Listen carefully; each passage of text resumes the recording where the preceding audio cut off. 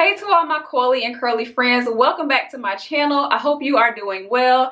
As you can see, I did a thing. If you're interested in seeing how I straighten my hair and get it to last for at least a month, keep watching.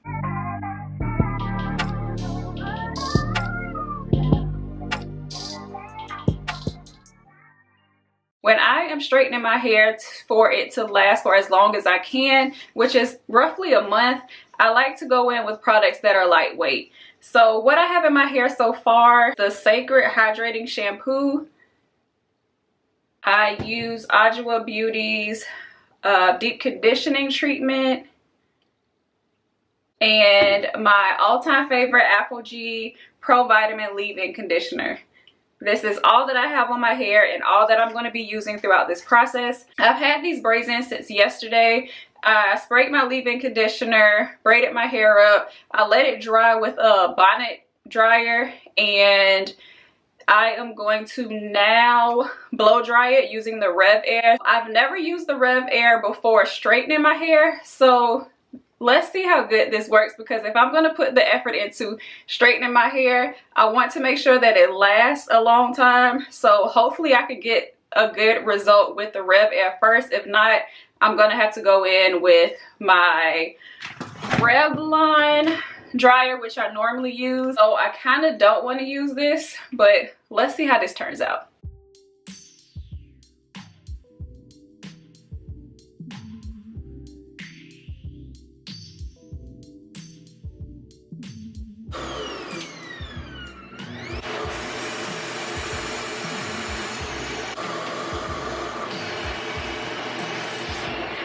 Man if i was just recording this rev air just started sparking and yeah scratch that. I'm not using that on my hair. I guess it's done but i got an issue with that because that machine was expensive and i'm sure i'm out of warranty.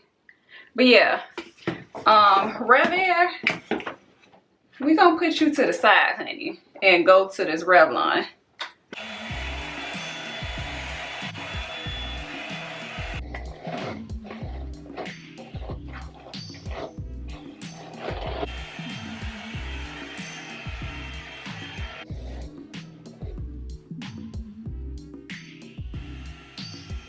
One very important thing about blow drying your hair before straightening is to make sure that you get your ends as smooth as possible.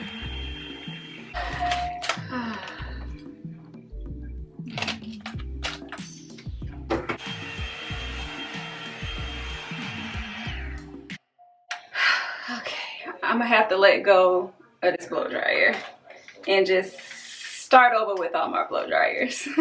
they done held up long.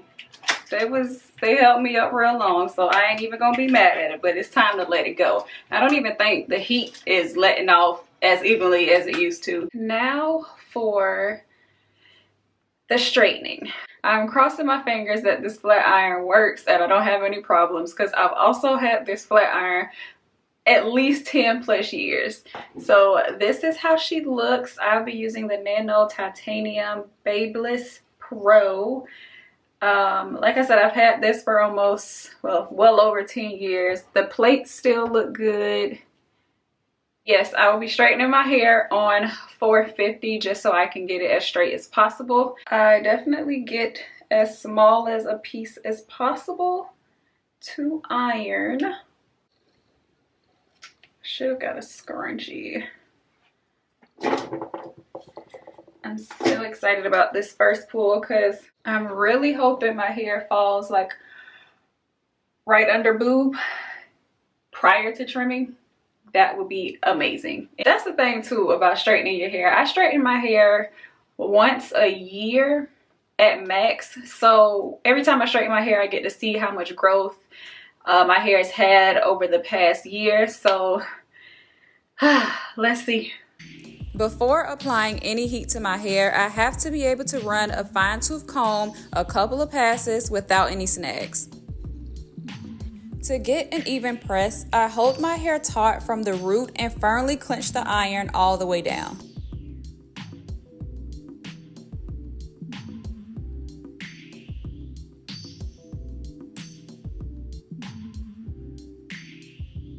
And make sure it passes the flow test.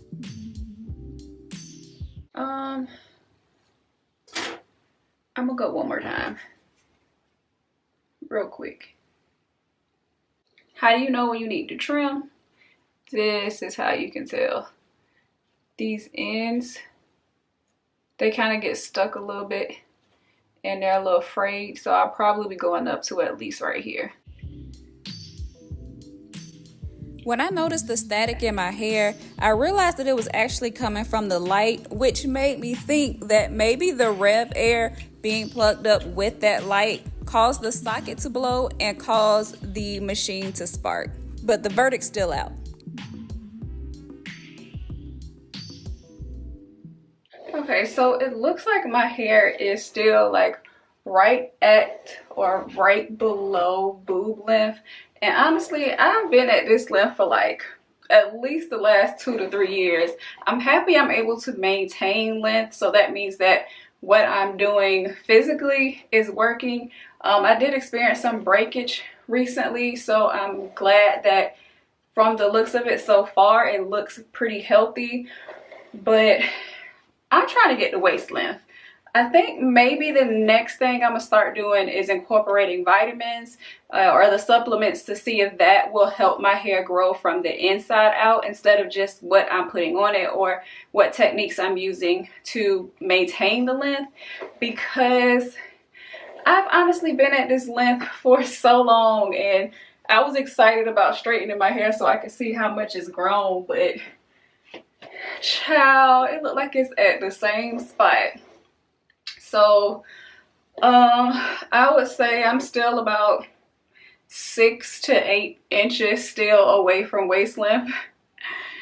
Uh, but yes, if you have any suggestions on any supplements that have worked for you in the past to promote hair growth, let me know.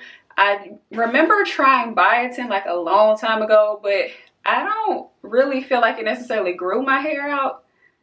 If I can't remember what it did, then it couldn't have done that great of a job of what I wanted it to do. But yes, that's what we're gonna do next.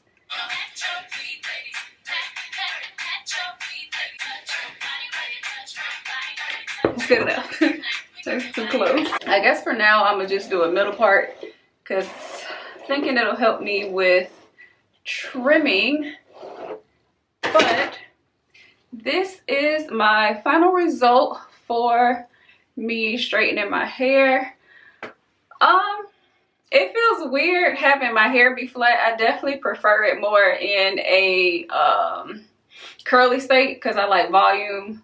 But this what we working with. My ends are a little stiff because they need to be trimmed so they ain't really moving right. But I'm finna handle that in a second. Oh, let me give you the back view too. This is before I trim it. I'm going to probably have started this video with my hair already trimmed. But right now, I hope you can see the back. I, let me look. I am basically a little below bra strap which like i told you before i have been for like years and i really want to clear this hump but for now, thank you so much for watching. I'll see you next video.